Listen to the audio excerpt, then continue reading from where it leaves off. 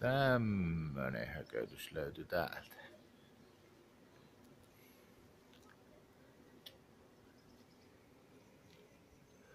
Uijon maja.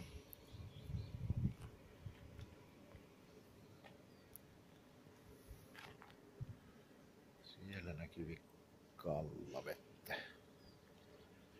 Äänihän tuo lähtee.